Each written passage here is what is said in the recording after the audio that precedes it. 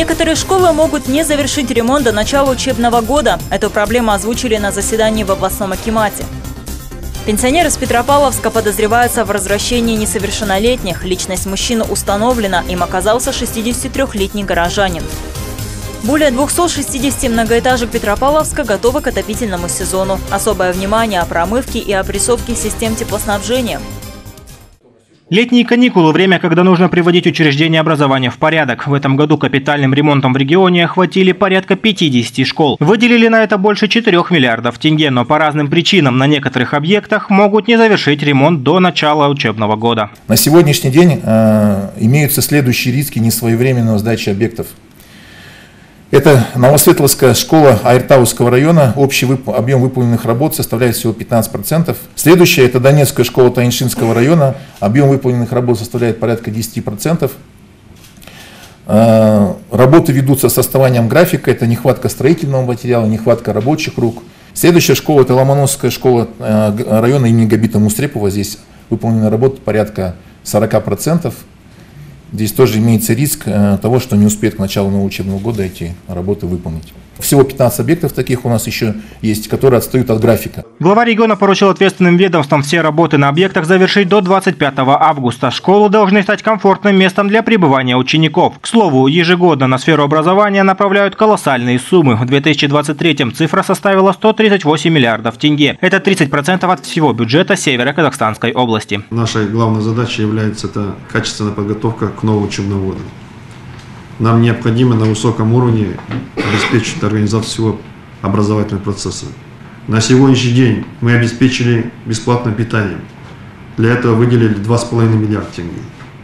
В целях безопасности детей закуплено 29 новых автобусов для подвоза детей. Поручаю взять на личный контроль проведение капитальных ремонтов в организациях образования – для проведения мониторинга выполнения ремонтных работ надо создать комиссию с привлечением общественности, завершить доставку учебников, учебной литературы до 25 августа. Также надо будет принять меры по увеличению скорости интернета в школах. Это большая проблема. Здесь Акимом района надо работу провести. Второй вопрос на повестке дня – это развитие спортивной отрасли. За последние пять лет сумма финансирования увеличилась почти на 6 миллиардов тенге и в этом году составила около 11 миллиардов. Благодаря этому удалось поднять заработную плату тренерам-преподавателям, начать строительство современных физкультурно-оздоровительных комплексов в тех районах, где их не хватает. Появилась возможность проводить спортивно-массовые мероприятия с участием жителей области. Всего в северном регионе активный образ жизни ведет 42% населения. В последние годы особое внимание уделяют развитию детского спорта. В регионе насчитывается более 99 тысяч детей в возрасте от 5 до 17 лет. Из них бесплатными спортивными секциями охвачено 46 тысяч детей или 46,4% за счет деятельности детско-юношеских спортивных школ, клубов физической подготовки, дворовых клубов и школьных секций. В области реализуется проект государственного спортивного заказа по переводу детей с занятий в платных секциях на бесплатную основу. В этом году государственным спортивным заказом охвачено 2695 детей по 15 видам спорта. На сегодня продолжается строительство четырех физкультурно-оздоровительных комплексов в селе Салмалколе Иртауского района, селе Явленка Исильского района, село Пресновка Жамбыльского района и селе Новоишимское района имени Габита Мусрепова. Финансирования выделяется достаточно, есть и поддержка спортивной отрасли, отметил глава региона. Но тем не менее работа проводится слабая. Айдарбек Сапаров поручил усилить работу по развитию спортивной инфраструктуры и обеспечить доступ к ней населению. Поручаю управлению физической культуры и спорта совместно с Акимом районов и города Петропавловска обеспечить мониторинг всех спортивных объектов и обеспечить их надлежащее состояние срок до 1 октября даю до конца года ввести в эксплуатацию физкультурно-оздоровительные комплексы в Айртовском, Жамбульском, Есильском, Яровитом и Среднем. Все поручения, которые глава региона дал руководству сферы образования, необходимо выполнить до начала учебного года. Что касается спортивной отрасли, то нужно усиленно готовить североказахстанцев на предстоящие азиатские игры и Олимпиаду.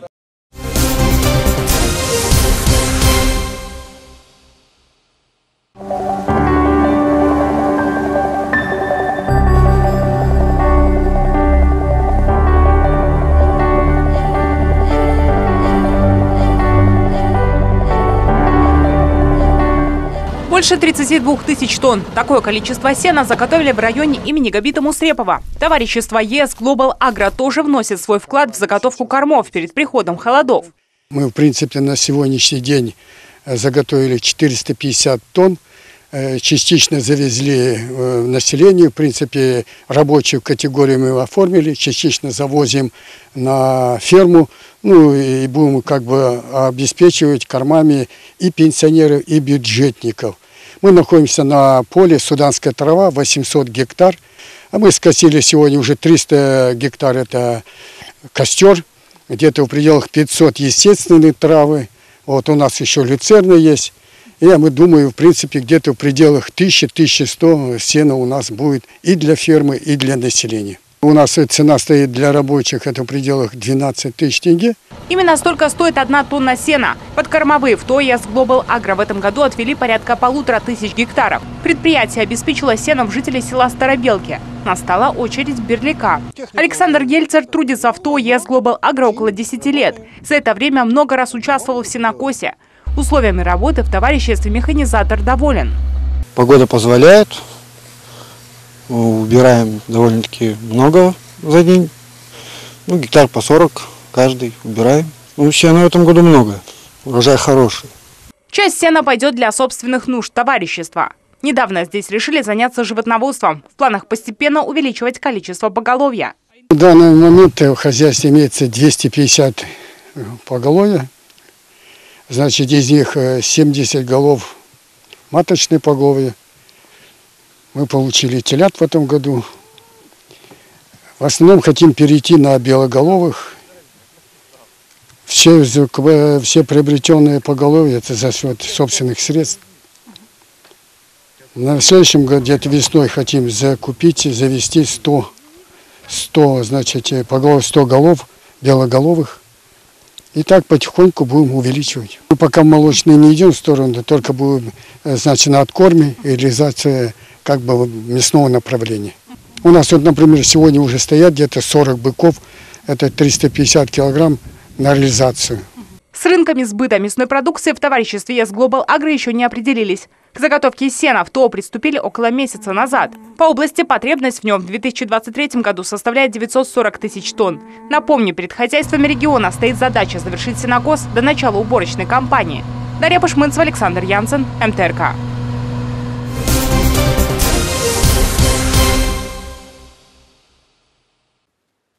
Более 7 миллионов гектаров неиспользуемых земель вернули государству. С начала текущего года в регионах Казахстана провели 810 внеплановых проверок в отношении землепользователей. В результате внесено 355 предписаний на площади 518 тысяч гектаров об устранении нарушений законодательства.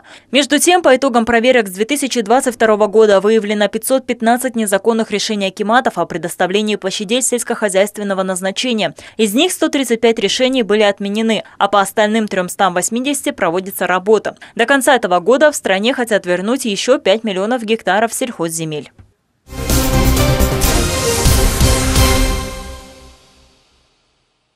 Североказахстанской области приостановили прием заявок по программе АО «Ламанаты». Оператор программы АО «СПК Солтусток» принял 250 заявлений на всю выделенную региону сумму в размере 1 миллиарда 800 миллионов тенге. Средства на реализацию проекта выделяются из республиканского бюджета. С первых дней жители региона активно приняли в ней участие. В первый месяц уже было подано 120 заявлений на общую сумму 950 миллионов тенге. Средняя сумма выданного льготного займа составила порядка 7 миллионов тенге. В основном сельчане намерены намерены развивать животноводство, грузоперевозки, торговлю.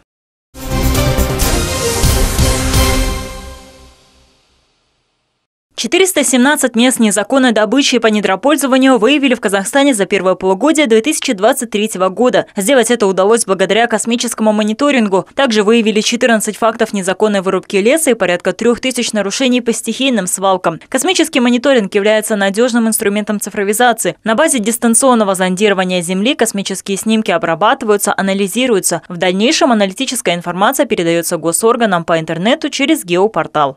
Паводка опасные период мы передаем космические снимки Министерству чрезвычайных ситуаций. Вот, и также мы отслеживаем мореные озера, вот, их состояние. А во время пожаров мы также передаем а, не только термальные точки, Вот на примере недавнего пожара вот, семьи Урмана мы хотели показать, вот, как мы передаем эти, эту информацию. Вот, мы в начале, вот, в самом начале возгорания 8 июня вот, э, космический снимок. Дальше вот распространение этих термальных точек. Также проводится космический мониторинг лесных и водных ресурсов страны. А еще благодаря космоснимкам можно узнать, как используются пашни и пастбища. За 22 и за 23 год около 1 миллиона неиспользуемых пахотных угодий и около 12 миллионов пастбищных угодий, где отсутствует скот. В текущем году в хорошем состоянии находится около 20% посевов, более 41% засорены. Также на брифинге рассказали про самовольный захват земель внутри сел и городов. В прошлом году выявлено 440 тысяч земельных участков с нарушениями. Агирим Хамзина, МТРК.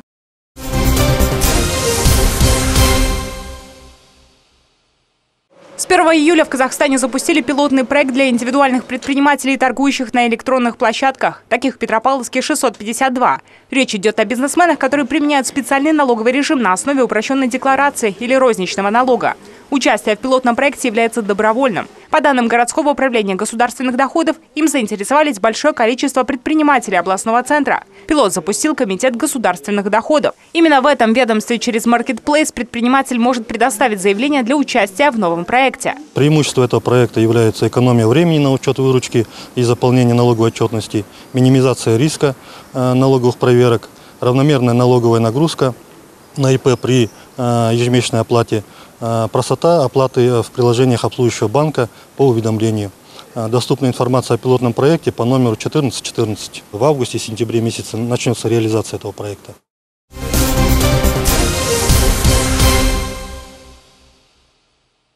В ходе мониторинга социальных сетей выявлена публикация о том, что в одном из дворов многоэтажного жилого дома города Петропавловска ходил мужчина с поведением, вызывающим подозрения. Он напугал двух несовершеннолетних девочек. Данный факт зарегистрирован в книге учета информации первого отдела полиции Управления полиции города Петропавловска. Личность мужчины была установлена. Им оказался 63-летний горожанин. Ранее к административной ответственности не привлекался и не состоит на психо- и наркодиспансерных учетах. 25 июля данный факт зарегистрирован в Едином реестре досудебных расследований по части 1 статьи 124 Уголовного кодекса Республики Казахстан «Развращение малолетних». В настоящее время проводятся следственные действия, направленные на исследование всех обстоятельств дела. После будет принято окончательное процессуальное решение.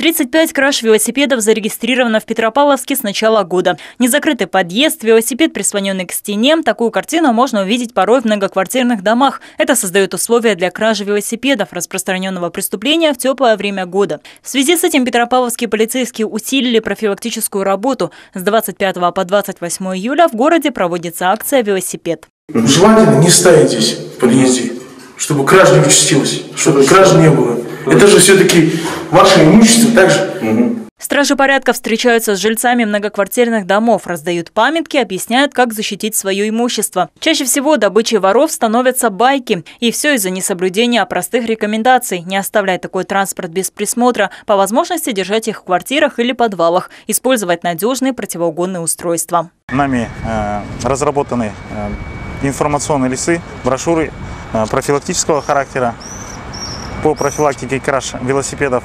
Так, с начала года, с начала текущего года на территории э, города совершено 35 краж велосипедов.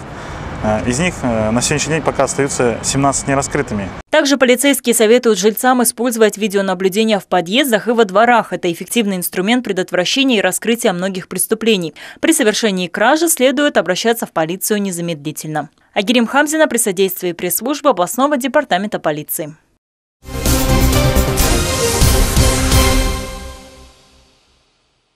25 июля около 9 вечера на пересечении улицы Назарбаева-Шажимбаева произошло столкновение автомобиля марки ВАЗ и скутера. За рулем машины был 24-летний житель областного центра. Скутером управлял 15-летний подросток. Водитель двигался по улице Назарбаева со стороны улицы Шажимбаева. При повороте налево не уступил дорогу скутеристу. Последний двигался со встречного направления прямо. В результате дорожно-транспортного происшествия пострадавший был доставлен в больницу. После оказания медицинской помощи помощи отпущен домой. Автомашина ВАЗ водворена на специализированную стоянку. Согласно проведенного медицинского свидетельствования, водитель был трезвым. Материалы по факту ДТП для дальнейшего разбирательства и принятия окончательного процессуального решения переданы в отдел административной полиции.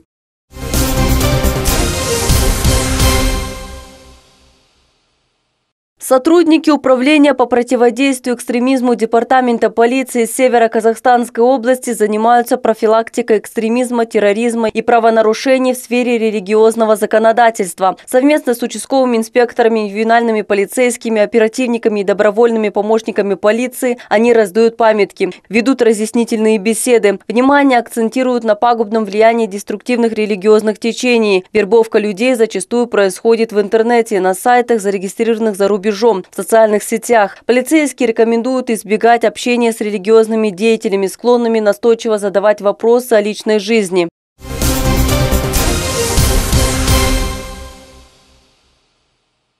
Петропавловске активно готовится к отопительному сезону. Особое внимание промывки и опрессовки систем теплоснабжения. Сейчас такая работа идет в многоэтажке номер 123 по улице Назарбаева. Ее жители подошли к делу ответственно. От того, как пройдет кампания, будет зависеть тепловой режим в квартирах, рассказывает Светлана Ковалева. В этом доме она живет более 40 лет. Если не провести э, промывку и опрессовку, то может случиться аварийная ситуация во время отопительного сезона, когда подается побольше давление в системе. И поэтому делают каждый год вот эту процедуру. Чтобы промыть каждый узел, сантехникам требуется около двух часов. Вода подается под большим давлением, позволяет эффективно бороться с грязевыми и солевыми отложениями. Зимой, вот последние годы очень хорошо, потому что у меня этот, э, квартира торцевая, то есть э, этот, э, холода больше нам достается. Но всегда 26, меньше 26 никогда не было. Последние годы точно. Это вот даже, э, даже во время вот застоя, когда плохо было с отоплением, у нас было где-то ну, от силы 20-22 там, градуса зимой. Вот представьте, в панельном доме такая температура. Система теплоснабжения должна выдержать двойное давление, отмечают специалисты. Если оно не падает, значит работа проведена успешно. После проверки контролера этот дом получит паспорт готовности. Кроме того, есть дома, которые проходят опрессовку с опозданием. После начала отопительного сезона э, сроком начинает промываться, опрессовываться. Это в октябрь заходят эти дома. Э, такие дома есть, конечно. Э, сейчас это, не скажу точную цифру, порядка 20-30 домов так ежегодно с опозданием. Готовиться к отопительному сезону в Петропавловске начали с апреля. На сегодня из 1135 многоэтажных домов эту процедуру прошли 268. Алеша Рашимов, Азамат Баймукан, МТРК.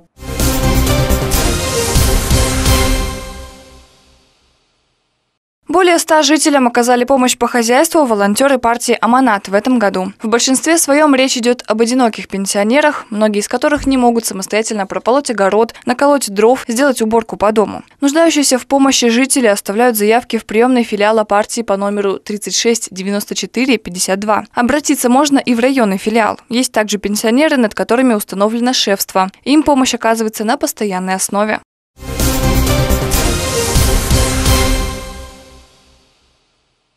SMM-специалист пользуется большим спросом на рынке труда. Сегодня мало кто не пользуется социальными сетями. Для кого-то интернет может быть простым миром информации, площадкой для знакомства, а для кого-то настоящий источник дохода. Интересно, что для того, чтобы стать SMM-специалистом, не требуется иметь высшее образование. Сегодня в социальных сетях, мы знаем, представлены все, и без социальных сетей невозможно продвижение ни бизнеса, ни услуг, ни а, человека как эксперта, как специалиста, как профессионала. Этому мы всему учим.